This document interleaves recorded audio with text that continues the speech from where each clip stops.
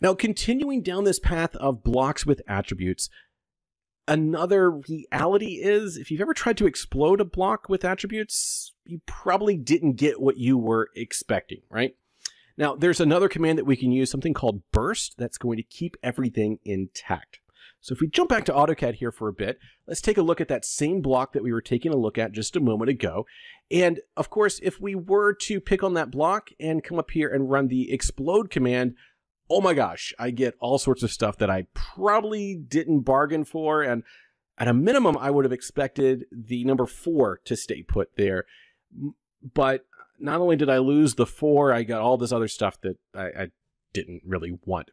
So while the explode command certainly has a place with blocks with attributes, if you just want things to look like they do on the screen here, it, it, that's not the place.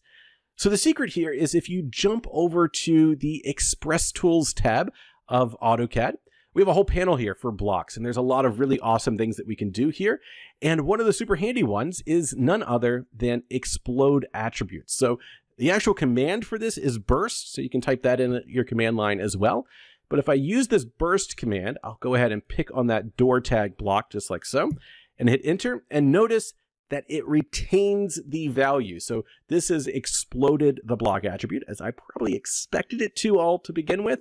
And once again, here is the principal components, the lines there, and of course the attribute itself. Just a regular old piece of text here. So again, that's probably more in line with what I expected to get all along.